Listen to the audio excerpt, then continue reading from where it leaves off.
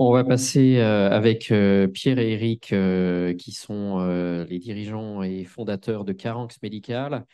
Là, sur un projet qui, intègre un certain nombre de briques d'innovation. J'ai eu la chance de visiter le site et, j'ai été particulièrement impressionné par la connaissance du, parcours patient dans ce contexte et la volonté justement d'infléchir la prise en charge avec la chirurgie micro-invasive euh, avec euh, différentes approches euh, qui vont nous présenter. Donc un grand merci d'être là.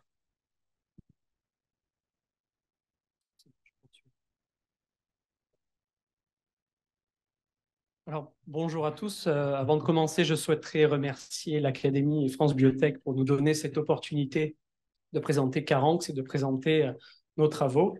Donc, je suis Pierre Berteren, directeur technique et cofondateur de, de.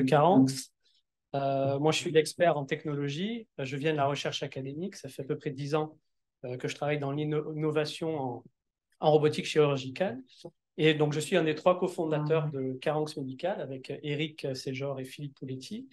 Et notre, euh, notre objectif, notre ambition, c'est de développer une nouvelle génération de robots, des robots intelligents, des robots qui vont être capables de prendre des décisions et qui vont être capables d'opérer de manière autonome sous la supervision du médecin. Je vais laisser Eric se, présenter. Eric Séjor, j'ai été chirurgien, pendant 20, chirurgien digestif pendant 20 ans au CHU, merci, au CHU Nice, et euh, je suis également diplômé euh, d'une école de commerce.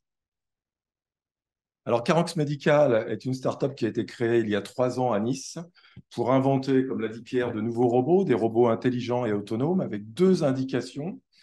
Euh, le remplacement valvulaire aortique percutané avec un premier projet intitulé TAVI Pilote et euh, la chirurgie bariatrique endoscopique avec un second projet intitulé Obelia. Euh, tout ceci pour répondre à une population qui vieillit et qui a tendance à prendre du poids, comme vous le savez, mais aussi pour compléter une offre de soins insuffisante.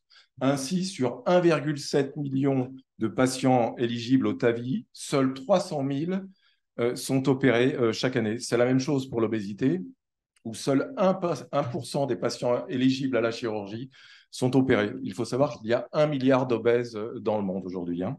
Bien évidemment, le but n'est pas d'éliminer le chirurgien de l'équation, mais de limiter les aléas euh, liés aux facteurs humains. On veut une standardisation des procédures. Ah, je, vais insister sur, sur cet élément. Donc, notre objectif, c'est de proposer une solution, une plateforme, un, un, système, un robot qui va permettre à n'importe quel médecin, que ce soit un interne qui opère pour la première fois ou un médecin expérimenté d'avoir le même résultat. On ne cherche pas à faire mieux qu'un expert, on cherche à ce que n'importe quel médecin puisse fournir ce, niveau d'expertise. Et donc notre solution, on l'appelait R, c'est un acronyme anglais qui, euh, veut dire Artificial Intelligence Imaging Robotic. Donc c'est la clé de notre système, c'est la convergence entre l'imagerie, entre l'intelligence artificielle et le robot. Donc ces trois systèmes ensemble peuvent permettre d'avoir un, robot intelligent. Donc L'imagerie, ce sont les yeux du médecin que l'on souhaite intégrer dans notre système. L'intelligence artificielle, c'est la connaissance et le cerveau du médecin que l'on souhaite intégrer dans notre système. Et le robot, c'est la main du médecin que l'on souhaite intégrer dans notre système. Donc, euh, le projet euh, TAVI Pilote, c'est notre, euh, notre projet sur lequel nous travaillons depuis trois ans. Donc, j'ai parlé déjà d'intelligence artificielle. Aujourd'hui, tout le monde sait que pour faire de l'intelligence artificielle, pour faire des réseaux de neurones profonds, il faut de la data. Et là, vous avez une mosaïque de notre base de données. Donc, nous avons décidé de créer notre propre base de données pour le TAVI. On peut voir, on, a du scanner euh, complet euh, du corps, on a du scanner haute résolution du cœur, on a de l'échographie, on a de la fluoroscopie pendant des procédures TAVI. donc, on a fait un très gros travail déjà pour récupérer ces données, pour les stocker, puis pour les annoter, pour les segmenter, pour avoir de la donnée pour utiliser euh, dans des, pour entraîner des algorithmes d'intelligence artificielle. Donc aujourd'hui, on a collecté euh, plus de 5000 patients et ces chiffres évoluent euh, chaque, jour. Hein. notre objectif est d'arriver rapidement à 6000 patients. Et cette base de données que nous avons créée, elle est unique, unique au monde. Pourquoi elle est unique? Parce que sur ces 5000 patients, en fait, si vous prenez un, patient qui s'appelle, on va dire, Pierre Dupont, alors notre base de données est anonymisée, et pour le même patient, on va avoir un scanner complet de l'anatomie, on va avoir un scanner haute résolution du cœur, on va avoir de la fluoroscopie d'une procédure TAVI, on va avoir un rapport post-opératoire, on va avoir des échographies. Alors, vous pouvez voir que euh, l'échographie, c'est là où on, a du mal à trouver de la donnée aujourd'hui, puisqu'elle n'est pas stockée systématiquement. Et voilà, on a créé cette base, de données colossale pour deux raisons. Première, c'est pour faire une meilleure planification des procédures TAVI, avec un jumeau numérique, encore une fois. Et la deuxième, c'est pour prendre des meilleures décisions pendant la procédure en travaillant sur des images en temps réel. Maintenant, on va vous montrer un peu de concret. Donc ça, c'est euh, une première réalisation hein euh, de, nos travaux, la première année au sein de 40, on voulait développer un robot qui soit capable de faire une ponction fémorale en autonome, c'est-à-dire sans intervention humaine. Donc, on a réalisé un système euh, qui est composé d'un bras robot qui est capable de détecter un patient sur la table, de se positionner seul sur le patient, de faire un scan au niveau du pli de laine pour détecter les vaisseaux avec une sonde échographique. Et ensuite, ce que je vais vous montrer, c'est qu'on a développé un module robotisé capable d'insérer une aiguille, un guide, un introducteur, un dilatateur, euh, et tout ça de manière robotique. Donc ça, ce sont des essais que nous avons fait en décembre de l'année dernière sur une carotide de mouton. Donc vous allez voir en haut à droite, on voit une aiguille qui est insérée par le système qui est à gauche, un système robotisé où tous les instruments sont déjà chargés. On peut voir ici le déplacement d'un guide à travers de l'aiguille, euh, donc encore une fois dans une carotide de mouton. Donc une fois qu'on a déployé assez de guides, on vient pousser avec un dilatateur, donc le tout encore une fois robotisé on vient pousser, vous allez voir un peu une déflexion des, tissus parce que le, mouton a une, couche musculaire relativement importante et Eric pourra commenter sur ces essais-là. Et on voit bien, si vous regardez en droite, on voit bien le chemin du, dilatateur. et une fois que le dilatateur a, creusé le chemin, voilà, on vient pousser l'introducteur. Donc c'est un, introducteur C French Terimos qui est le plus standard. Et à la fin, on peut retirer l'aiguille, on peut retirer les instruments, le guide et laisser uniquement l'introducteur. Et on a un petit volet hop, qui s'ouvre sur le côté qui nous permet de laisser l'introducteur en place et de se retirer et donc de, les, de pouvoir passer à l'étape suivante de la procédure. Donc là, on va commencer à, rentrer dans le cœur du sujet, c'est le cas de le dire, puisque nous travaillons maintenant sur un robot capable de faire naviguer une, une, une prothèse de valve et, euh, et, de pouvoir prendre des décisions sur comment la positionner, de pouvoir reconnaître les instruments. Donc là, on va vous montrer euh, un premier logiciel qui, euh, qui est capable d'analyser des images fluoroscopiques en temps réel donc, on a, vous pouvez voir ici les résultats d'une intelligence artificielle. Il y a trois réseaux de neurones qui tournent en parallèle. Un qui est entraîné à détecter la pictelle, un qui est entraîné à détecter la prothèse de valve et un qui est capable de détecter l'anneau arctique une fois qu'un agent de contraste a été injecté. Et ce qui est unique avec notre solution aujourd'hui, c'est que même quand l'agent de contraste se dissipe, on peut continuer à savoir où se trouve l'anneau aortique et donc donner au médecin un métrique, là, une distance en millimètres, pour que le médecin puisse savoir où placer sa valve le plus précisément possible, sachant que l'emplacement de la valve va avoir un impact sur les complications et la performance euh, et le résultat de la procédure. Donc, ce qu'on a essayé de faire ici, c'est de, aujourd'hui, sur une procédure TAVI, vous avez une très grosse phase de planification avec une précision de l'ordre du millimètre, parce qu'on utilise des, scanners, des CT. Euh, donc, on a cette précision submillimétrique dans le planning, mais après, lors de la procédure, on est plus proche du centimètre que du millimètre. Et là, avec cette solution, euh, on, revient à la précision équivalente aussi au scanner donc, on peut permettre un meilleur placement de valve. Donc, ça, ce sont les yeux et le, cerveau du robot. Donc, là, on va vous montrer le, robot. Alors, là, on peut voir euh, une première version de notre prototype. Donc, c'est trois fois la même vue avec euh, des zooms sur des parties différentes. Donc, tout à gauche, vous voyez l'ensemble complet. Donc, on a un fantôme vasculaire en haut en silicone qui, euh, est donc avec un, flux, de, liquide à l'intérieur du système. En bas, en noir, le robot. Au milieu, on voit le, système. Cette version-là a été développée pour une valve Edwards, pour le système de largage Commander. Et notre objectif est d'être compatible avec les quatre gros fabricants aujourd'hui, que sont Edwards, Medtronic, Abbott et Boston. Mais notre première version, voilà, c'est sur la valve Edwards, puisque c'est la plus implantée aujourd'hui.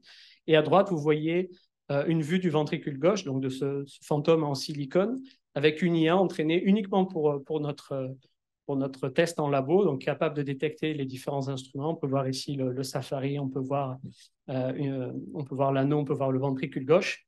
Et quand la valve va monter, vous allez voir l'IA qui la détecte. Donc, on a un opérateur qui peut téléopérer le, le, système. Donc, on passe déjà. Normalement, il faut deux opérateurs pour manipuler un système TAVI. Donc là, un seul opérateur peut tout contrôler, tous les instruments. Et là, on voit donc le, le système de largage qui passe l'arche aortique et qui arrive dans la horte ascendante, qui est détecté par l'IA.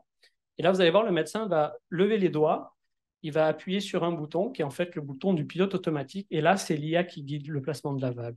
Et donc, c'est juste pour vous montrer que c'est le médecin qui contrôle toute la procédure. C'est le médecin qui décide de passer en mode manuel ou en mode autonome et qu'à tout moment, le médecin reprend la main.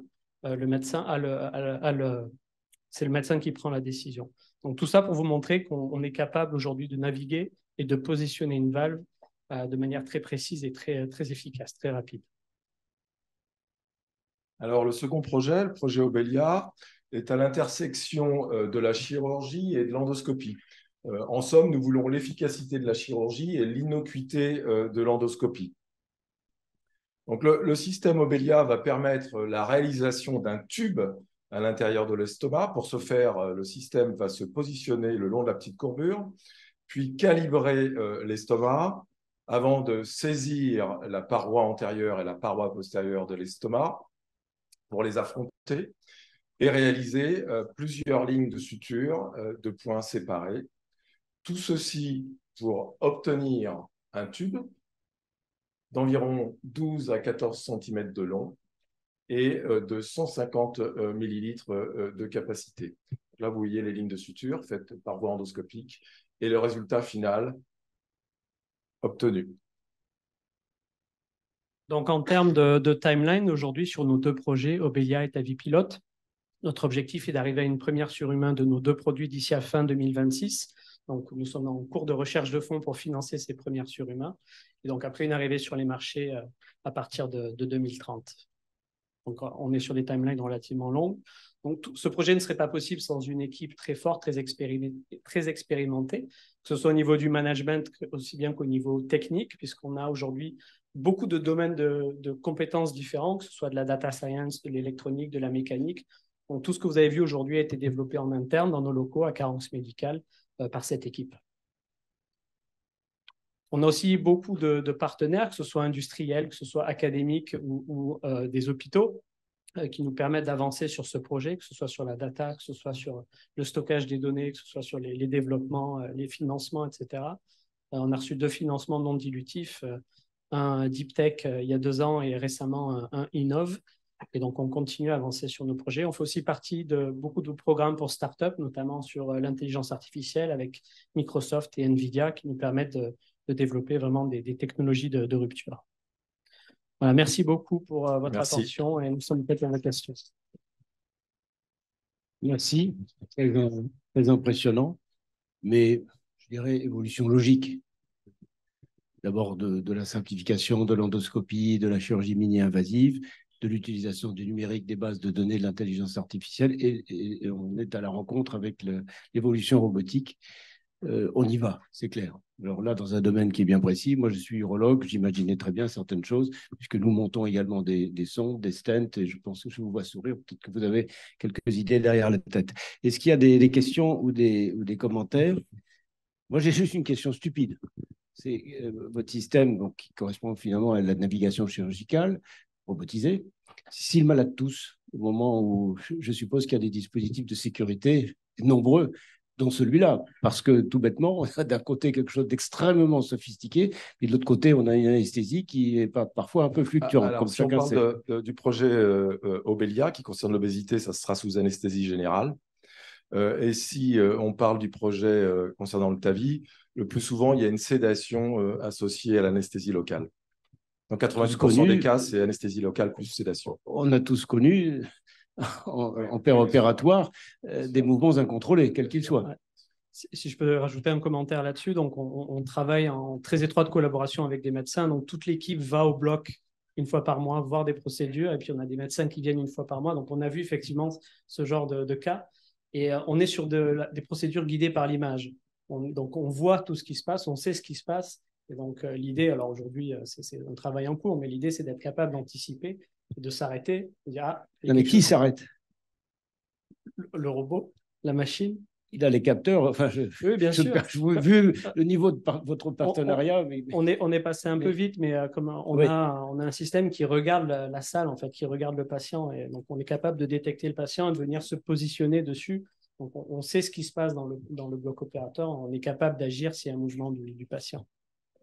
C'est, tout est dans la vitesse de réponse. Enfin, là, où, vous vous situez, c'est n'est pas, pas avec la, la manette de la Switch Nintendo que vous avez, que vous, allez, vous aurez la vitesse de, réaction. Là, il faut que l'arrêt soit absolument immédiat. Moi, j'ai l'habitude de la navigation chirurgicale pour utiliser d'autres types de robots. C'est la machine qui décide de s'arrêter.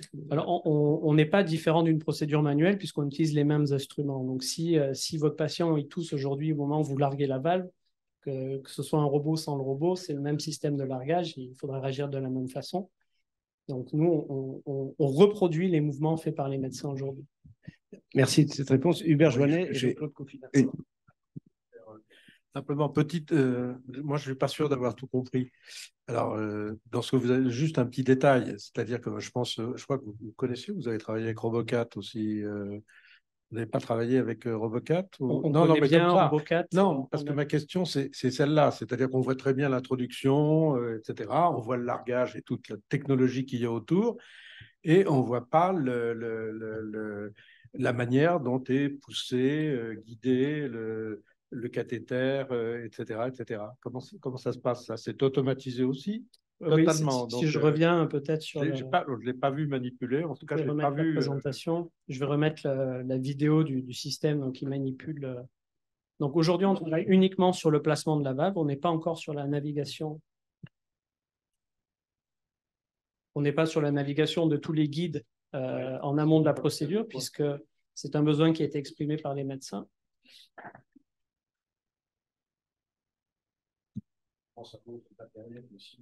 Voilà, si, je montre, en fait, le robot, c'est cette partie-là, hein, c'est la partie noire. Et donc, vous avez, euh, vous avez trois blocs aujourd'hui qui sont motorisés. Un bloc qui simule en fait un premier opérateur qui en général se tient au niveau de l'introducteur du, système et qui va pousser le cathéter pour le faire rentrer. Donc ça, c'est un premier module robotisé qui est ici. on est sur la robotique relativement compacte. Vous avez un deuxième module robotisé ici qui est en général géré par un deuxième opérateur. C'est pour manipuler tous euh, les éléments de l'ancillaire de largage. Hein. Sur le système Edward, la molette qui est en haut, c'est la molette pour changer la, flexion du dispositif. Vous avez une molette en bas pour changer euh, la position du ballon. Donc là, vous avez un système robotisé qui gère ces éléments-là. Puis en bas, vous avez un troisième système robotisé que vous voyez ici. Donc lui gère le, le guide de largage. Nous, on travaille avec du Safari. Donc, c'est un module robotisé qui peut pousser et tirer le dispositif. Donc, vous avez trois modules robotisés pour, euh, pour un système TAVI. Merci. Hubert Alors, donc, le TAVI pilote, dans la mesure où c'est un robot, ça peut être fait à distance en pratique. On peut parfaitement imaginer qu'un malade soit à 70 km et qu'il y ait quelqu'un qui, qui sache manipuler tout ça, et avec juste une infirmière qui regarde à côté. Euh, il y a pas une... Technologiquement, oui. Ouais, c'est ça. C'est tout à fait faisable, puisqu'en plus, on est sur un robot capable de prendre des décisions, ce qui facilite encore plus le, distanciel, on va dire. Alors, ce n'est pas notre euh, focus principal aujourd'hui, mais techniquement, c'est réalisable. Après, oui, c'est plutôt les aspects réglementaires. Réglementaires, j'allais dire, et il faut une présence médicale à partir du moment où... Alors, sur, euh, Orbelia, euh, votre projet est, très pertinent parce que c'est ça le vrai enjeu en pratique actuelle. Hein. Ce n'est pas de faire des bypass avec un robot, avec un télémanipulateur. En revanche, je ne comprends pas le concept. Ce, euh, Mason, il, a fait cette opération en 1971, ça n'a ça n'a pas marché. Il y avait des, agrafes qui se défaisaient, etc., etc. Donc comment, je pense que les agrafes, euh, elles vont inévitablement, elles vont se défaire. Alors, euh, il n'y a, pas que Mason qui l'a fait. Il y a une technique qui s'appelle le Magenstrass, qui est encore pratiquée dans certains services, qui donne d'assez bons résultats. Effectivement, le souci, c'est l'absence de cicatrisation de la muqueuse contre la muqueuse. Euh, mais on a quelques solutions techniques qui pourraient euh, permettre de corriger cela. Donc, on va faire des tests sur le modèle animal avant la fin de l'année pour vérifier notre hypothèse. On a une question à distance. Le deuxième point, c'est que vous avez vous créez une cavité close qui n'est pas physiologique. Non, non, non, elle n'est pas complètement close. C'est l'équivalent, si vous voulez, d'un euh, d'un Mason, d'un MacLean ou d'un Magenstrass, il y aura, il y aura la possibilité d'évacuer effectivement la grosse tubérosité. Donc on, ne ferme pas euh, l'estomac jusqu'en bas. Oui, mais alors, bon, alors, il est fermé ou il n'est pas fermé? Non, non, non. Je, je, je, trouve que si vous voulez, il y a, y a, eu, y a eu, tellement d'essais d'intervention en chirurgie bariatrique exact. qui ont été beaucoup d'échecs, etc. Le Bagenstrass, ce n'est pas une opération qui est adoptée par beaucoup de gens. Hein. Non, non, non. Et, donc, c'est là où j'ai des doutes. Bon, enfin bon, moi, je, veux bien que ça marche. Hein. Non, non, non. En tout cas, le, le projet est excellent. Merci. Alors, nous avons une question à distance. Olivier Bastien, qui peut prendre la parole. Vous nous entendez? Il s'est déconnecté, dommage. Bon, alors moi je voudrais, pour terminer, euh, reparler des, du, du, Oui, pardon, M. Loisance, oui. Oui, une question très courte. Qu'est-ce qui se passe si le malade fait un arrêt? C'est la même chose que lorsqu'on est, on est face à un chirurgien. Je pense que on va demander à nos amis euh, anesthésistes de, de tout faire pour euh, réanimer le, le patient pendant qu'on suspend l'acte technique. Donc la machine va se mettre en arrêt.